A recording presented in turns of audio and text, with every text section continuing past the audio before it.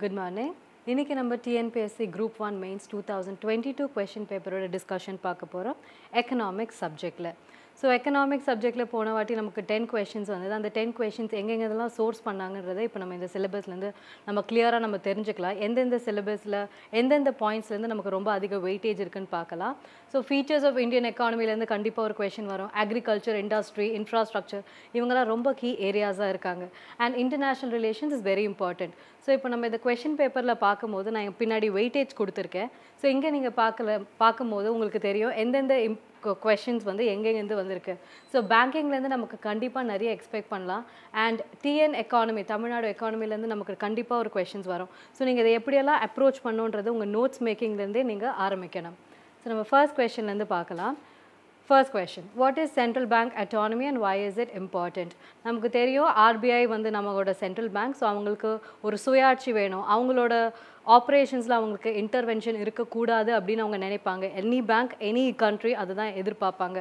So இந்த மாதிரி questions நீங்கள் எப்படி அப்ரோச் பண்ணணும்? ஃபர்ஸ்ட் நீங்கள் இன்ட்ரடக்ஷனில் கொடுக்க போகிறீங்க வாட் இஸ் ஆர்பே அது ஆர்பிஐ பற்றி நீங்கள் கொடுக்கலனாலும் பரவாயில்ல ஆர்பே அட்டானமி பற்றி நீங்கள் இன்ட்ரடக்ஷன் கொடுக்கணும். அண்ட் எப்போவுமே உங்கள் இன்ட்ரடக்ஷனில் வந்து புட் ஃபேக்ஸ் நீங்கள் எப்போவுமே ஃபேக்ஸாக த்ரோ பண்ணுங்கள் நம்பர்ஸ் டேட்டா இண்டிசஸ் அந்த மாதிரி நீங்கள் த்ரோ பண்ணுங்கள் ஸோ நீங்கள் இந்த இங்கே வந்து நீங்கள் இன்ட்ரடக்ஷன் என்ன கொடுக்கலாம்? Section seven of the RBI act என்ன சொல்லுதுன்னா கவர்மெண்ட் வந்து உள்ளே இன்டர்வீன் பண்ணலாம். இது வந்து தப்பு கிடையாது. For the public interest intervene பண்ணலாம். ஸோ அதனால தான் கவர்மெண்ட் நாங்கள் இன்டர்வீன் பண்ணுறோம் நாங்கள் சும்மாலாம் நாங்கள் இன்டர்வீன் பண்ணலாம் அப்படின்னு அவங்க சொல்கிறாங்க ஸோ இது வந்து லாஃபுல்லி இட் இஸ் ஓகே அப்படின்னு சொல்கிறாங்க பட் இருந்தாலும் ஆர்பிஐ சொல்கிறாங்க நீங்கள் எல்லாத்துலேயுமே நீங்கள் இன்டர்வீன் பண்ணாதீங்க. அது எங்களுக்கு கொஞ்சம் கஷ்டமாக இருக்குது வி காண்ட் ஆப்ரேட் அப்படின்னு அவங்க சொல்கிறாங்க ஸோ இதுதான் இப்போதைக்கு இஷ்யூ ஸோ இப்போது நீங்கள் இன்ட்ரடக்ஷனில் நீங்கள் இந்த செக்ஷன் செவன் பற்றி சொல்லலாம். அண்ட் சென்ட்ரல் பேங்க் கிட்ட வந்து கவர்மெண்ட் எப்படியெல்லாம் இன்டர்வீன் பண்ணுறாங்க மானிட்டரி பாலிசி கமிட்டின்னு ஒன்று ஃப்ரேம் பண்ணாங்க டூ தௌசண்ட் செவன்டீனில் ஆறு பேர் இருப்பாங்க. அதில் மூணு பேர் ஆர்பிஐலேருந்து மூணு பேர் கவர்மெண்ட் வந்து நாமினேட் பண்ணுவாங்க. ஸோ இந்த மாதிரி பாலிசி மேக்கிங்கில் வந்து அவங்க இன்ட்ரெஸ்ட் ரேட்டை வந்து அவங்க தான் வந்து டிசைட் பண்ணுவாங்க. ஸோ இதில் வந்து அவங்க வந்து ஒரு இன்டர்வென்ஷன் இருக்குது அதுக்கப்புறம் ஆர்பிஐ கவர்னர் டெப்யூட்டி கவர்னர்லாம் அப்பாயிண்ட் பண்ணுறது கவர் கவர்மெண்ட் தான். அதுக்கப்புறம் there's no legal act which is mandating the autonomy of RBI அதான் முன்னாடியே செக்ஷன் செவன்லேயே சொல்லிட்டாங்க இல்லைங்களா? கவர்மெண்ட் வந்து இன்டர்வீன் பண்ணலான்னு. ஸோ ஆர்பிஐ சுயமாக இருக்கணும். அவங்களுக்கு எந்த இன்டர்வென்ஷனும் இருக்கக்கூடாதுன்றதுக்காக எந்த லாவும் இல்லை. ஸோ அதனால நாங்கள் இன்டர்வீன் பண்ணுறோம் அப்படின்னு அவங்க சொல்கிறாங்க பட் இதில் என்னென்னலாம் இஷ்யூஸ் இருக்குது ஏன் வந்து ஆர்பிஐ இவ்வளோ இம்பார்ட்டண்ட்டாக எங்களுக்கு தனியாக கொடுங்க அப்படின்னு கேட்குறாங்க அப்படின்னு பார்த்தீங்கன்னா அவங்க தான் வந்து ஒரு regulation of the monetary policy control பண்ணுறாங்க அவங்க கிட்ட தான் நம்மளோட பேங்க்ஸ் எல்லா பேங்க்ஸுமே மானிட்டர் பண்ணுறாங்க ஸோ இப்படிப்பட்ட ஒரு க ஒரு இன்ஸ்டிடியூஷனுக்கு சுயாட்சி வேணும் அப்படின்னு அவங்க கேட்குறாங்க அண்ட் லேட்டஸ்ட் அசல் என்ன இருக்குது இந்த மாதிரி கரெக்டிவ் ஆக்ஷன் இன்ட்ரெஸ்ட் ரேட் பண்ணுறதுல எல்லாம் கவர்மெண்ட்டோட இன்டர்வென்ஷன் ரொம்ப அதிகமாக இருக்குன்னு அவங்க ஃபீல் பண்ணுறாங்க அண்ட் ஏன் இவங்க இம்பார்ட்டன்ஸாக இருக்கணும்? எங்களுக்கு ஏன் இம்பார்ட்டண்ட் அட்டானமி கொடுக்கணும் அப்படின்னு கேட்குறாங்கன்னா அவங்க சொல்கிறாங்க நாங்கள் தான் வந்து regulator of the economy and நாங்கள் தான் ஃபண்டமெண்டல் ஹெல்த்தை மெயின்டைன் பண்ணுறோம் அண்ட் எங்களுக்கு டைரக்ட் பொலிட்டிக்கல் இன்ஃப்ளூயன்ஸ் இல்லைன்னா அது எங்களுக்கு ரொம்ப நல்லதாக இருக்கும். நாங்கள் வந்து கவர்மெண்ட்டோட ஷார்ட் டேர்ம் இன்ட்ரெஸ்ட் அதுக்கெல்லாம் எங்களால் வந்து ரொம்ப இறங்கி போயிட்டோன்னா ஆர்பிஐயோட சாவரனிட்டி வந்து குறைஞ்சிரும் அப்படின்னு அவங்க எதிர்பார்க்குறாங்க. ஸோ கவர்மெண்ட்டோட இன்டர்வென்ஷன் எப்போலாம் இருக்கும்? இந்த மாதிரி எலெக்ஷன் டைமில் நம்ம நிறைய நாட்டில் பார்த்துருப்போம். எலெக்ஷன் அனௌன்ஸ் பண்ணும்போது நிறைய பாலிசிஸ் நிறைய அல்யூரிங் பாலிசிஸ் அவங்க கொடுப்பாங்க. லைக் இன்ட்ரெஸ்ட் ரேட்டை கம்மி பண்ணுவாங்க பிஃபோர் எலெக்ஷன் கடனெல்லாம் தள்ளுபடி பண்ணுவாங்க. ஈஸிங் ஆஃப் ஸ்ட்ரிக்ட் ரெகுலேஷன்ஸ் பண்ணுவாங்க. அண்ட் ஃபிஸிக்கல் டெபிசிட்ஸை கம்மி பண்ணுறதுக்கு ரிசர்வ்ஸை எம்ப்ளாய் பண்ணுவாங்க. ஸோ இப்படியெல்லாம் அவங்க பண்ணும்போது என்ன ஆகும்னா ஆர்பிஐயோட அட்டானமி குறைஞ்சிரும். ஆர்பிஐக்குன்னு ஒரு பிளான் நம்ம பிளான் படி போயிட்டு இருப்பாங்க. ஸோ கவர்மெண்ட் இந்த மாதிரி எலெக்ஷன் டைமில் இந்த மாதிரி பண்ணும்போது அவங்களோட அட்டானமி குறைஞ்சிடும். ஸோ அதுக்காக சொல்கிறாங்க ப்ளீஸ் எங்களை விட்டுடுங்க. எங்களுக்குன்னு ஒரு எக்ஸ்பர்டீஸ் இருக்குது எங்களுக்கு நாலேஜ் இருக்குது நாங்கள் வந்து அதை பார்த்துக்குறோம். அப்படின்னு இவங்க சொல்கிறாங்க so when government interventions dilute the central banks policies அவங்களோட அட்டானமி கோவர்ஸ் ஆகும். ஸோ இந்த மாதிரி கொஷின்ஸை நீங்கள் இப்படி தான் அப்ரோச் பண்ணணும். ஸோ ஃபர்ஸ்ட் அட்டானமி பற்றி என்னென்னு சொல்லிடுவீங்க. அட்டானமி பற்றி சொல்லிட்டு and why is it important கவர்மெண்டோட இன்ஃப்ளூயன்ஸ் என்ன? அது லேட்டஸ்ட் அசில்னா அதுக்கான வே ஃபார்வர்ட் ஸோ இப்படி சொல்லி நீங்கள் டென் மார்க்ஸை நீங்கள் கன்க்ளூட் பண்ணிடுவீங்க. Next question, what is disinvestment and asset monetization and why is it important? And is it same or different? Yes, கண்டிப்பாக அது ரெண்டுமே டிஃப்ரெண்ட் தான். ஸோ டிஸ்இன்வெஸ்ட்மெண்ட்னா என்ன? அசெட் மானிட்டைசேஷன் என்ன? டிஸ்இன்வெஸ்ட்மெண்ட்னா என்னென்னா ஒரு பப்ளிக் செக்டர் யூனிட் இருக்குன்னு வச்சுக்கோங்களேன். அதில் வந்து இப்போ வந்து அது ஒரு சிக் யூனிட் அதில் வந்து ரொம்ப ப்ராஃபிட்டபுளாக இல்லை.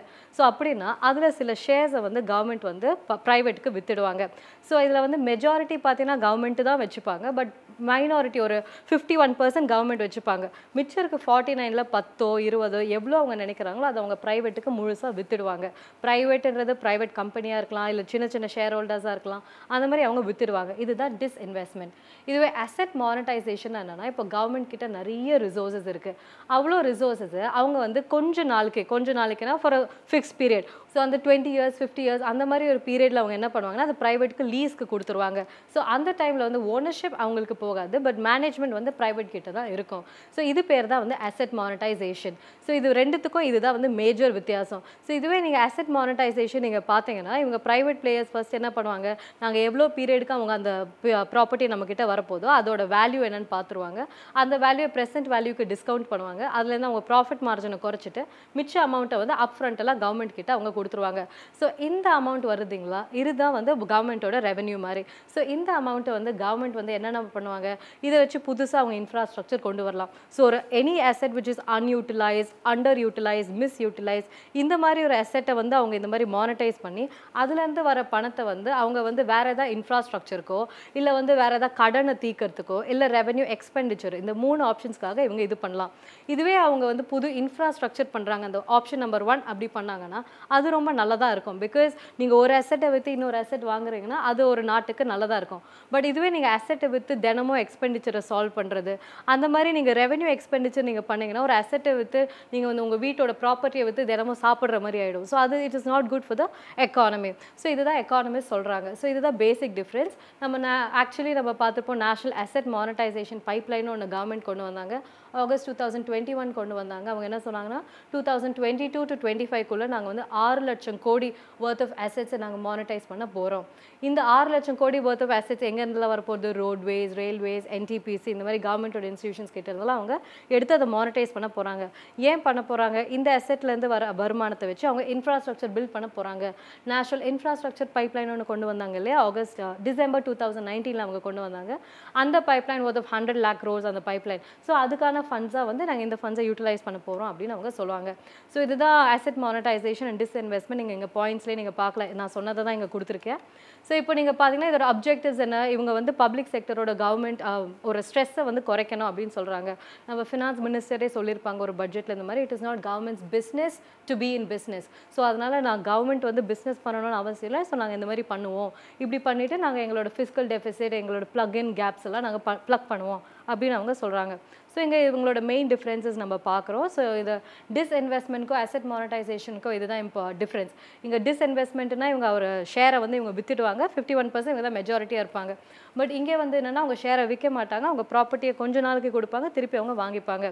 டிஸ்இன்வெஸ்ட்மெண்ட்டில் ஓனர்ஷிப் மேனேஜ்மெண்ட் ரெண்டுமே கவர்மெண்ட் கிட்ட தான் இருக்கும். பட் இங்கே வந்து பார்த்தீங்கன்னா ஓனர்ஷிப் எங்கே இருக்கும். பட் மேனேஜ்மெண்ட் கொஞ்சம் நேரத்துக்கு அவங்க கிட்ட போயிடும் ப்ரைவேட் கிட்ட. அண்ட் சேல் ஆஃப் அசெட்ஸ் பார்த்தீங்கன்னா டிஸ்இன்வெஸ்ட்மெண்ட்டில் அசெட்டை வித்துடுவாங்க. தே லிக்விடேட் அசெட் பட் இதுவே அசெட் மானிட்டைசேஷன் பார்த்தீங்கன்னா அங்கே சேல்லாம் இருக்காது.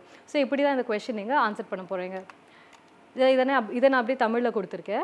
நெக்ஸ்ட் வந்து is demographic dividend and engine of growth?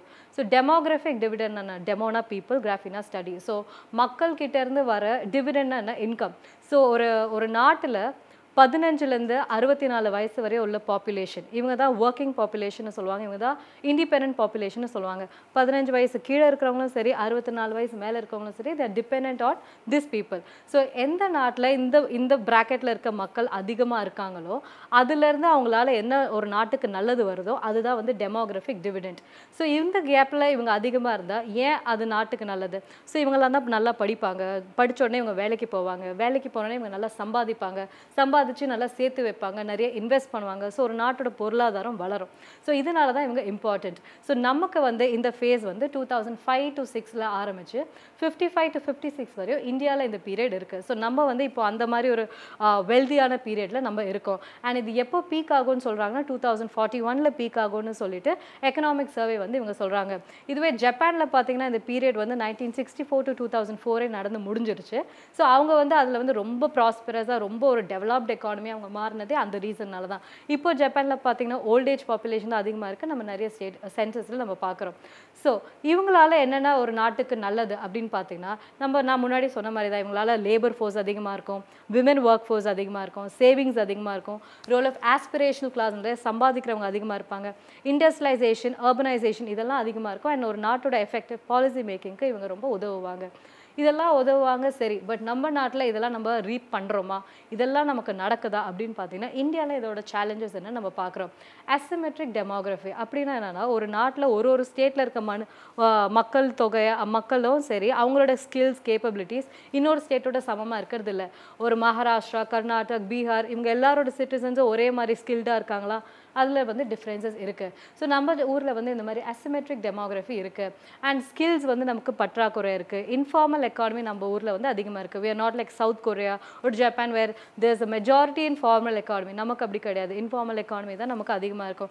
And நம்ம வந்து லோ ஹியூமன் டெவலப்மெண்ட் பேராமீட்டர்ஸில் நம்ம ரொம்ப கம்மியாக இருக்கும். நான் இந்த இண்டிசஸ்லாம் கொடுத்துருக்கேன். இதெல்லாம் நீங்கள் கீ ஃபேக்ட்ஸாக நீங்கள் வந்து நிறைய கொஷின்ஸில் வந்து நீங்கள் இதை எம்ப்ளாய் பண்ணலாம். உங்களோட இன்ட்ரடக்ஷனில் சரி ஏதாவது பாக்ஸ் கண்டென்ட்டாக சரி நீங்கள் இந்த மாதிரி ஃபேக்ட்ஸை யூஸ் பண்ணலாம். இதெல்லாம் latest indices so two thousand twenty டூவில் நம்ம ஹியூமன் டெவலப் இண்டெக்ஸில் ஒன் தேர்ட்டி செகண்டில் இருந்திருக்கோம். அண்ட் இதுவே ஜெண்டர் இன்இக்வாலிட்டி இண்டெக்ஸில் நம்ம ஒன் ஃபார்ட்டி இருக்கும் out of one fifty six countries so that is quite alarming and world economic ஃபோரமில் பார்த்தோன்னா அதுங்களும் அதுலேங்களும் ஜெண்டர் கேப்பில் வந்து நம்ம வந்து கம்மியாக தான் இருந்திருக்கோம். அதில் ஹெல்த்தில் நம்ம லாஸ்ட்டாகவே இருக்கோம். ஸோ இந்த மாதிரி இண்டிகேட்டர்ஸ் இவ்வளோ கம்மியாக இருக்கும் போது நம்ம எப்படி ஒரு இன்ஜின் ஆஃப் க்ரோத்தாக நம்ம எப்படி சொல்ல முடியும்? அப்படின்னா நம்ம கவர்மெண்ட் வந்து அதுக்கான மெஷர்ஸ் நமக்கு எடுக்கணும். எடுக்கிறாங்க அதை நல்லா இம்ப்ளிமெண்ட்டும் பண்ணணும். ஸோ அப்படி இம்ப்ளிமெண்ட் பண்ணால் நம்மளோட டெமோகிராஃபிக் டிவிடன்றது டெமோகிராஃபிக் டிசாஸ்டராக மாறாது. ஸோ அப்போ தான் நம்ம நாட்டுக்கு வந்து ஒரு நல்ல ஒரு இன்ஜின் ஆஃப் க்ரோத்துன்னு சொல்கிற மாதிரி we will be proving that so இதோட வே ஃபார்வர்ட் என்ன நான் சொன்ன மாதிரி தான் இந்த ஸ்கில் கவர்மெண்ட் வந்து ஸ்கில்லை டெவலப் பண்ணணும். இந்த மக்களுக்கு நிறைய எஜுகேஷன் நல்லா தான் கொடுக்கணும் ஹெல்த் கரெக்டாக இருக்கணும். அண்ட் ஜாப் கிரியேஷன் எல்லாம் படித்தவங்களுக்கு எல்லாருமே வேலைக்கு டேர்ன் ஓவர் ஆகிறாங்களா அப்படின்றத பார்க்கணும். ஸோ ஸ்கில் டெவலப்மெண்ட்க்கு நேஷனல் ஸ்கில் டெவலப்மெண்ட் கார்பரேஷன் ஒன்று கொண்டு வந்திருக்காங்க. So they will equip and develop skill for target people. And educationalக்கு வந்து என்னென்னா academic and industry collaboration கொண்டு வராங்க. படிக்கிறது எல்லாமே நம்ம வந்து அகாடமிக் ஓரியன்டாக இல்லாமல் இண்டஸ்ட்ரி ஓரியன்டாக இருக்கணும். நீங்கள் படித்த உடனே உங்களுக்கு ஒரு வேலை கிடைக்கணுன்ற ஒரு மோட்டிவில் நம்ம படிக்கணும்.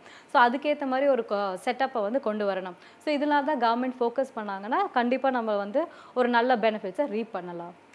So next question, so what is the recent WTO ruling on sugar policy of India? So இது டூ தௌசண்ட் நைன்டீனில் இந்த இஷ்யூ வந்தது. ஸோ என்ன இஷ்யூ வந்து என்ன இஷ்யூன்னு பார்த்தீங்கன்னா டூ தௌசண்ட் நைன்டீனில் Australia Brazil and Guatemala Guatemala central அமெரிக்காவில் உள்ள கண்ட்ரி இவங்க மூணு பேரும் போய் வேர்ல்ட் ட்ரேட் ஆர்கனைசேஷனில் கம்ப்ளைண்ட் பண்ணிட்டாங்க. என்ன கம்ப்ளைண்ட் பண்ணாங்க? இந்த மாதிரி இந்தியா வந்து நிறைய சப்சிடிஸ் கொடுக்குறாங்க. அதனால நிறைய மானியங்கள் கொடுக்கறதால சுகர் பாலிசி வந்து ரொம்ப அவங்களுக்கு வந்து ரொம்ப எஃபெக்டிவாக அவங்களுக்கு யூஸ் ஆகுது. அதனால அவங்க நிறைய சுகரை தயாரிக்கிறாங்க. அதை ரொம்ப கம்மி ரேட்டில் நாட்டு எல்லா உலக நாட்டுக்கு அவங்க எக்ஸ்போர்ட் பண்ணிகிட்ருக்காங்க அதனால் எங்கள் ஊர் சுகர்லாம் யாருமே வாங்க மாட்டுறாங்க எல்லாருமே இவங்க கிட்டேருந்து தான் வாங்குறாங்க. ஸோ நீங்கள் இது பண்ணுங்க. டபிள்யூடிஓ ரூல் படி பத்து பர்சன்ட் தான் சப்சிடி கொடுக்கணும். பட் இவங்க அதுக்கு மேலேயும் கொடுக்குறாங்க. ஸோ நீங்கள் அதை வந்து கண்ட்ரோல் பண்ணுங்க அப்படின்னு சொல்லிட்டு கம்ப்ளைண்ட் பண்ணிட்டாங்க. ஸோ டபிள்யூடிஓ அதை கேட்டுட்டு ஆமாம் ஆமாம் நீங்கள் நிறைய கொடுக்குறீங்க. நீங்கள் வந்து அதை இன்னொரு ஃபோர் மந்த்ஸ்க்குள்ளே ஒன் டுவெண்ட்டி டேஸ்க்குள்ளே நீங்கள் அதை கம்மி பண்ணிடணும். இல்லாட்டி வந்து உங்கள் மேலே ஸ்ட்ரிக்ட் அட் ஸ்ட்ரிக்ட் ஆக்ஷன் எடுப்போம் அப்படின்னு அவங்க சொல்கிறாங்க பட் இதுக்கு இந்தியா என்ன சொல்கிறாங்க இல்லை இல்லைங்க. நீங்கள் சொல்கிற ஃபைண்டிங்ஸ்லாம் தப்பு. நாங்கள் அப்படியெல்லாம் எதுவுமே பண்ணல. நாங்கள் வந்து டைரக்ட் சப்சிடிஸ்லாம் நாங்கள் எதுவுமே கொடுக்கல. நாங்கள் ப்ரொடக்ஷன் பஃபர் ஸ்டாக் மார்க்கெட்டிங் இந்த மாதிரி தான் நாங்கள் சப்சிடிஸ் கொடுக்குறோம். அதுவும் வந்து டைரெக்டாக ஃபார்மர்ஸ்க்கு ரீச் ஆகுதான்னு கேட்டிங்கன்னா கிடையாது. அது இன்டைரக்டாக தான் ரீச் ஆகுது. ஸோ உங்களோட மார்ஜினை நாங்கள் கவர் பண்ணுறோம் அப்படின்னு இவங்க சொல்கிறாங்க ஸோ இந்தியாவோட ஸ்டாண்ட் என்னன்னு பார்த்தீங்கன்னா இதுதான். நம்ம சொன்ன பாயிண்ட்ஸ் தான். நாங்கள் டைரெக்டாக கொடுக்கல அப்படின்னு சொல்கிறாங்க அண்ட் வந்து மற்றவங்க என்ன சொல்கிறாங்கன்னா நீங்கள் எஃப்ஆர்பின்னு ஒன்று கொண்டு வரீங்க. அதாவது ஒரு சுகர் மில்ஸ் ஒரு சுகர் கேன் விளைவிக்கிற ஒரு ஃபார்மருக்கு இவ்வளோ ப்ரைஸ் கொடுத்து தான் வாங்கணும். அப்படின்னு நீங்களே ஃபிக்ஸ் பண்ணிடுறீங்க. மற்ற நாடுங்களாம் அப்படி நாங்கள் பண்ணுறது இல்லையே நீங்கள் இப்படி பண்ணுறதுனால எல்லாருமே ஓ இவ்வளோ ப்ரைஸ் கவர்மெண்ட் கொடுப்பாங்க இவ்வளோ ப்ரைஸ் மில் ஓனர் கொடுப்பாங்கன்னு சொல்லிட்டு எல்லாருமே நிறைய ப்ரொடியூஸ் பண்ணுறாங்க ஸோ சப்ளை நிறைய அதிகமாகிடுது அதனால ப்ரைஸ் ரொம்ப கம்மியாயிடுது. அந்த ப்ரைஸ்னாலேயே நாங்கள் நிறைய நீங்கள் எக்ஸ்போர்ட் பண்ணுறீங்க அப்படின்னு கம்ப்ளைண்ட் பண்ணுறாங்க ஸோ இவங்க அப்படி சொல்கிறாங்க நீங்கள் இந்தியா வந்து நீங்கள் இப்படியெல்லாம் பண்ணுறீங்க ஸோ அதனால இவங்க என்ன பண்ணுறாங்கன்னா டெட் இந்த சுகர் மில் ஓனர்ஸ் இருக்காங்க இல்லையா? இவங்களுக்கு வந்து என்ன ஆகுது? நிறைய இவங்க விளைவிக்கிறாங்க. கவர்மெண்ட் சொல்கிற ப்ரைஸ்க்கு இவங்க வாங்கி தான் ஆகணும் ஸோ இவங்க வாங்குறதுனால என்ன ஆகும்? நிறைய சப்ளை அதிகமாயிடுது. இவங்க ப்ரைஸ் கம்மியாக விற்கிறாங்க பட் காஸ்ட் ஆஃப் ப்ரொடக்ஷன் அதிகமாயிடுது. ஸோ யார் இங்கே மாட்டிக்கிறாங்க? இந்த சுகர் மில் ஓனர்ஸ் தான் மாட்டிக்கிறாங்க. அவங்க தான் ஒரு டெட் ட்ராப்பில் போய் மாட்டிக்கிறாங்க. ஸோ அதுக்காக கவர்மெண்ட் வந்து அவங்களுக்கான ரெண்டு இன்ட்ரெஸ்ட் ரேட்டை கம்மி பண்ணுறதுக்கு ரொம்ப ட்ரை பண்ணுறாங்க அண்ட் அதுக்கப்புறம் இல்லாமல் இந்த எத்தனால் பிளெண்டிங் கூட இந்த சுகர் கேன் ரொம்ப இம்பார்ட்டன்ட் அப்படின்ற ஒரு காரணத்தினால இன்னும் மக்கள் இன்னும் நிறைய அதை விளைவிக்கிறாங்க. And fun for export government வந்து எக்ஸ்போர்ட் பாலிசிஸ்க்கும் நிறைய ஃபண்ட் பண்ணுறதுனால கா இந்த சுகர் மில் ஓனர்ஸ் வந்து இன்னும் நிறைய ப்ரொடியூஸ் பண்ணணும் நிறைய சுகர் பண்ணணும் அப்படின்னு ஒரு கடன் தொல்லையில் மாட்டிக்கிறாங்க. ஸோ இதனால தான் நாங்கள் வந்து இன்ட்ரெஸ்ட் ரேட்டை இவங்களுக்காக கம்மி பண்ணுறோமே தவிர நாங்கள் வந்து டேரெக்டாக இவங்களை பூஸ்ட் பண்ணணும்லாம் நாங்கள் ஒன்றும் பண்ணலை. இவங்களோட கடன் பிரச்சனைக்காக தான் நாங்கள் வந்து இந்த மாதிரி அவங்களுக்கு சப்சிடிஸ் கொடுக்குறோம் அப்படின்னு இந்தியாவோட ஸ்டாண்ட் சொல்கிறாங்க so what is the way forward way forward என்னன்னு பார்த்தீங்கன்னா இந்தியா வந்து டபிள்யூடியோட அப்பலேட் பாடி இவங்க மூணு நாடுகளும் போய் அது டிஸ்பியூட் பேனல் கிட்ட பண்ணாங்க. ஸோ டிஸ்பியூட் பேனலுக்கு மேலே இருக்கிறது தான் அப்பலேட் பாடி அது ஒரு சிக்ஸ் மெம்பர் பாடி ஸோ அது சிக்ஸ் மெம்பர்ஸ் வந்து ஆறு நாடுலேருந்து அவங்க செலக்ட் பண்ணுவாங்க. ஸோ அந்த பாடி கிட்ட போய் இவங்க அப்பீல் பண்ணியிருக்காங்க. இந்த மாதிரி நீங்கள் வந்து இந்தியா சொல்கிறாங்க இந்தியா வந்து நம்மளோட பாயிண்ட்ஸ் எல்லாம் சொல்லிட்டு நீங்கள் வந்து இதை பார்த்து பண்ணுங்க அப்படின்னு சொல்கிறாங்க ஸோ டபிள்யூடிஓ அப்பலேட் பாடி இப்போ ஒழுங்காக ஃபங்க்ஷன் பண்ணல. அவங்க அந்த மெம்பர்ஸை நாமினேட் பண்ணுறதுல கொஞ்சம் டிலே இருக்கிறதுனால அவங்க அதுக்கான முடிவு கொடுக்கல. இஃப் சப்போஸ் ஒருத்தவங்க அந்த முடிவு கொடுத்துட்டாங்கன்னா if it favours those nations அப்படின்னா இந்தியா வந்து அவங்களோட நே அந்த இதுக்கு கட்டுப்பட்டு தான் ஆகணும். பட் இப்போ இந்தியா கட்டுப்படலைன்னா என்ன ஆகும் இவங்க இதே ப்ரைஸ் தான் கொடுப்பேன் அப்படின்னு சொன்னால் என்ன ஆகும் மற்ற நாடுங்கள்லாம் நம்ம மேலே அதிக டேரிஃப் இது பண்ணுவாங்க. நீ விலை கம்மியாக விற்கிற பட் நான் அதுக்கு எக்ஸ்போர்ட் டியூட்டி அதிகமாக போடுவேன். நான் அதுக்கு டேரிஃப் அதிகமாக வைப்பேன் அப்படின்னு சொல்லிட்டு இவங்க அதிகமாக வச்சுட்டாங்கன்னா அது அவங்க அந்த ஆஸ்திரேலியா அந்த மாதிரி ரிச் கண்ட்ரிஸ் சொல்கிற ப்ரைஸோட நம்ம ப்ரைஸையும் ஏற்றிடுவாங்க ஸோ இப்படி நம்ம ப்ரைஸையும் ஏற்றிட்டா என்னாகும்? நமக்கு ஒரு காம்படேட்டிவ் அட்வான்டேஜ் அட்வான்டேஜே இருக்காது. ஸோ நம்மக்கிட்டேருந்து கம்மி ப்ரைஸில் வாங்கிட்டு இருந்த சில புவர் கண்ட்ரீஸ் டெவலப்பிங் கண்ட்ரீஸ்லாம் ரொம்ப எஃபெக்ட் ஆவாங்க. இது ஆன் த ஹோல் ரன் இது டபிள்யூடிஓட ஒரு கோலே வந்து இது வந்து சீர்குலைக்குது. டபிள்யூடிஓட ரோலே என்ன? ஒரு free and fair trade policies இருக்கணும்னு தான். பட் இந்த மாதிரி ஒரு காம்படிஷனில் பார்த்தீங்கன்னா நம்மளோட ப்ரைஸும் அதிகமாகிறதுனால நமக்கு வந்து அவங்களுக்கு வந்து ஒரு பெனிஃபிட்டே இருக்காது. ஸோ இதுதான் அவங்களோட வே ஃபார்வர்டாக இருக்கணும். So next question impact of FDI on banking and insurance sector so நமக்கு எஃப்டிஐ தெரியும் ஃபாரின் டைரக்ட் இன்வெஸ்ட்மெண்ட் ஸோ நம்ம பார்த்தீங்கன்னா ஒரு நைன்டீன் நைன்டி ஒன் அந்த லிபரலைசேஷன் பாலிசிலேருந்து நமக்கு எஃப்டிஐ வந்து இன்க்ரீஸ் ஆகிட்டே இருக்குது உங்கள் இன்ட்ரடக்ஷனில் நீங்கள் என்ன மாதிரி ஃபேக்ட்ஸ் நீங்கள் த்ரோ பண்ணுவீங்க? நைன்டீன் நைன்டி நைன்லேருந்து ஒரு டூ தௌசண்ட் சிக்ஸ் வரையும் டூ தௌசண்ட் ஃபோர் வரையும் உங்களோட எஃப்டிஐ வந்து வெறும் பதினேழு பில்லியன் பத்தொம்போது பில்லியன் கிட்ட தான் இருந்திருக்கு. அதுக்கப்புறம் ஒரு அஞ்சு வருஷத்தில் அது அப்படியே நூறு பில்லியன் ஆகுது. அப்புறம் மொத்தமாக ஒரு டூ தௌசண்ட்லேருந்து ஒரு டூ தௌசண்ட் டுவெண்ட்டி வரையும் எழுநூற்றி இருபது பில்லியன் கிட்ட நம்ம வந்திருக்கோம். ஸோ அந்த அளவுக்கு இந்தியா ஒரு ப்ராமிசிங் நேஷனாக இருக்குன்றதை நம்ம பார்க்குறோம். ஸோ இந்த மாதிரி ஃபேக்ட்ஸ் நீங்கள் இன்ட்ரடக்ஷனில் நீங்கள் த்ரோ பண்ணலாம். ஸோ இதை நீங்கள் வந்து ரெண்டு பார்ட்டாக நீங்கள் அப்ரோச் பண்ணுவீங்க. First FDI on banking sector and FDI on insurance sector நீங்கள் பண்ணுவீங்க. ஸோ எஃப்டிஐ அண்ட் பேங்கிங் செக்டரை நீங்கள் என்னென்ன பாயிண்ட் சொல்வீங்க? ஏன் வந்து எஃப்டிஐ உள்ளே வரதுனால நமக்கு என்னென்னலாம் இம்பாக்ட் வருது? புதிய டெக்னாலஜி நமக்கு வருது. And risk management policy improve ஆகுது. அண்ட் பெட்டர் கேபிட்டலைசேஷன் ஆகுது. அண்ட் ஃபினான்ஷியல் ஸ்டெபிலிட்டி நிறைய உள்ள பணம் வருது டெக்னாலஜியெல்லாம் வரதுனால ஒரு ஸ்டெபிலிட்டி இருக்கும். அவங்களுக்கு ஏற்ற வந்து டெக்னாலஜி அளவுக்கும் நம்ம சரி நம்ம பாலிசி அளவுக்கும் சரி நம்ம இம்ப்ரூவ் ஆகும். So FDI resolves a problem இங்கே இருக்கிற ப்ராப்ளம் எல்லாம் எஃப்டிஐ சால்வ் பண்ண ட்ரை பண்ணுது. எஃப்டிஐயோட அந்த பணம் வந்து எல்லா எல்லா பிஸ்னஸ்க்குமே பணம் தான் இம்பார்ட்டன்ட் ஸோ பணம் வந்துச்சுன்னா we can solve a lot of issues so என்னென்ன மாதிரி இஷ்யூஸ் நம்மளோட நான் பெர்ஃபார்மிங் எசெட்ஸ் நம்ம poor marketing strategies and innovativeness in financial products புது புது ப்ராடக்ட்ஸ் கொண்டு வரலாம். ஸோ இந்த மாதிரி products and technical and technological developments கொண்டு வரலாம். அண்ட் மேனேஜ்மெண்ட்டில் இருக்க ஹிக்கப்ஸ் எல்லாம் கூட நம்ம சால்வ் பண்ணலாம்.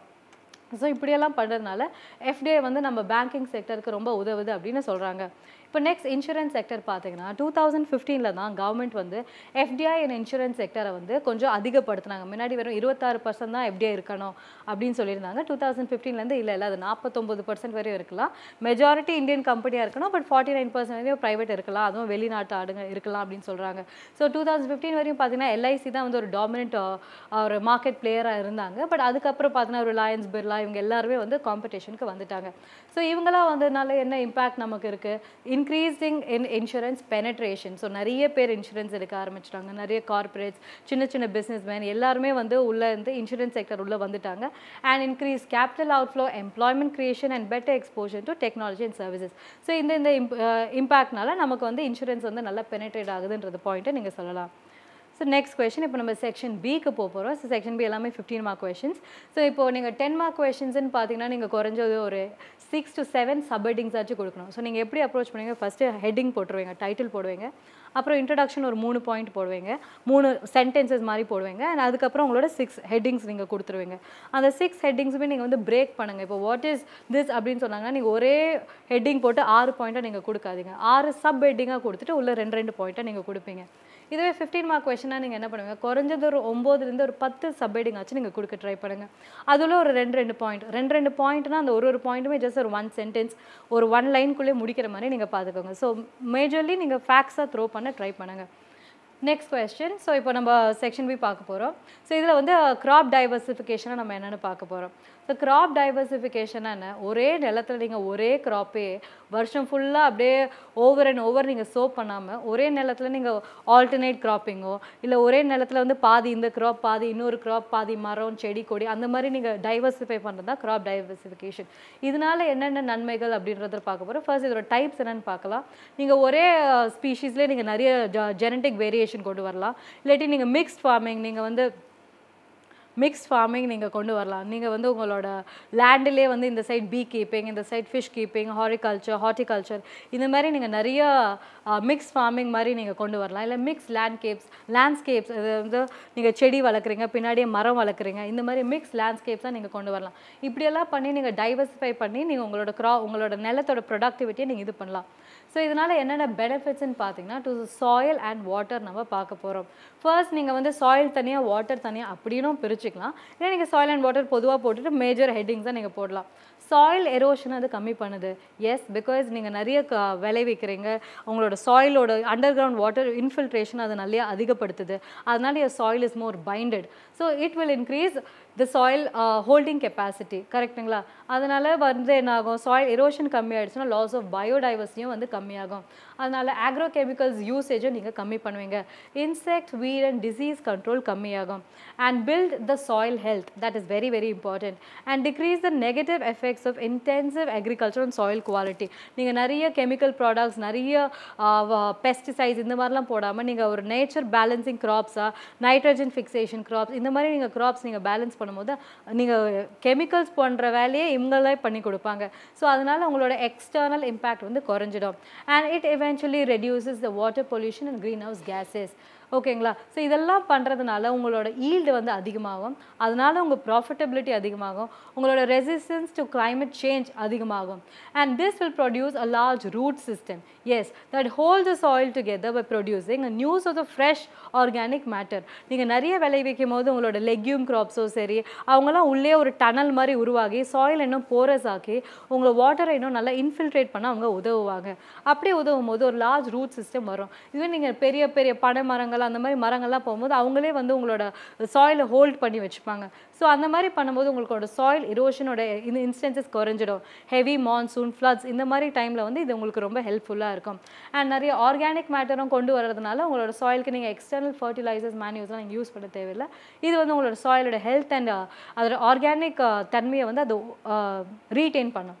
ஓகேங்களா? ஸோ இது வந்து இந்த கொஷனுக்கு நீங்கள் ஓவரால் பெனிஃபிட்ஸ் அப்படின்னு எழுதணும் அப்படின்னா நீங்கள் எந்தெந்த பாயிண்ட்ஸ் எல்லாம் நீங்கள் எழுதலாம். இது increase income on small land holding நீங்கள் ஒரு சின்ன லேண்ட்லேயே நீங்கள் நிறைய டைவர்சிஃபை பண்ணுறதுனால it will increase your income அதனால வந்து உங்களோட ஃபார்மர்ஸ் இன்கம் அதிகமாகும். உங்களோட நேச்சுரல் பயோடைவர்சிட்டி அண்ட் ப்ரொடக்டிவிட்டி அதிகமாகும். உங்களோட ரிஸ்க் ஆஃப் கிராப் ஃபெயிலியர் வந்து குறைஞ்சிரும். நீங்கள் ஒரு கிராப் உங்களுக்கு சக்ஸஸ்ஃபுல்லாக இல்லைனா கூட இன்னொரு கிராப் உங்களுக்கு அதுக்காக ஈடு கொடுத்துரும். So it reduces risk of crop failure and it ensures food and natural security உங்களுக்கு நல்ல ஒரு ப்ரொடக்ஷன் கொண்டு வரணும் இன்க்ரீ இன்க்ரீஸ் பண்ணணும் அப்படின்னு சொன்னீங்கன்னா நீங்கள் இந்த மாதிரி கிராப் டைவர்சிஃபிகேஷன் ஒரே கிராப்பை போடாமல் வருஷத்துக்கு ஒரு கிராப் இல்லாட்டி ஒரு ஒரு சீசனுக்கு ஒரு ஒரு கிராப் பண்ணுறதுனால நமக்கு வந்து ஒரு increased income and food security வரும். And it will give you access to national and international markets அதனால உங்களுக்கு எக்கனாமிக் ஸ்டெபிலிட்டி வரும். And it balances food demand and your environment is also conserve இதெல்லாம் உங்களோட ஓவரால் பெனிஃபிட்ஸ் ஓவரால் பெனிஃபிட்ஸ்ன்ற point எழுதும் போது நீங்கள் இதெல்லாம் நீங்கள் எழுதலாம். ஓகேங்களா?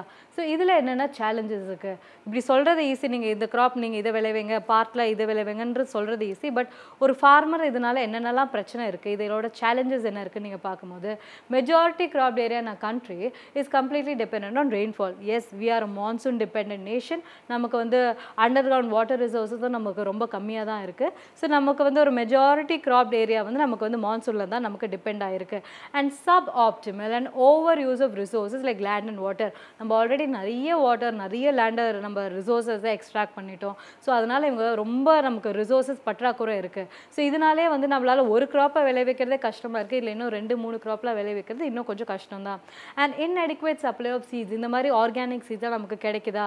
அப்படின்னு அப்படின்னு பார்த்தீங்கன்னா நிறைய பேருக்கு அது கிடைக்கிறது இல்லை. எல்லாருமே இப்போ அந்த மாதிரி கெமிக்கலி ஜெனட்டிக்லி மாடிஃபைட் சீட்ஸ்க்கெல்லாம் போயிட்டாங்க. ஸோ இந்த மாதிரி ஆர்கானிக் சீட்ஸாக நமக்கு கிடைக்கிறதுனா கிடைக்கிறது கிடையாது.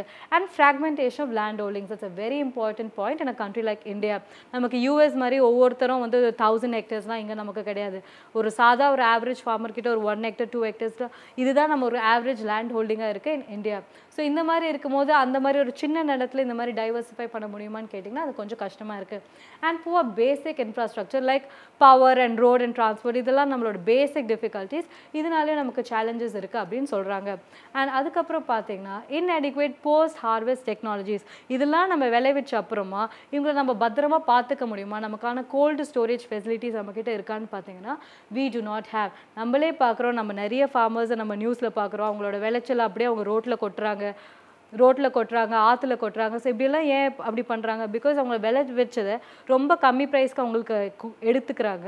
அண்ட் அதை அவங்க ஸ்டோர் பண்ணி வைக்க முடியுமான்னு கேட்டிங்கன்னா அவங்களுக்கு அதுக்கான ஃபெசிலிட்டிஸும் இல்லை. அவங்க உடனே அதை மார்க்கெட்டுக்கு விற்றுக்கிட்டே ஆகணும். இது ஒரு பெரிஷபிள் ப்ராடக்ட் இல்லையா?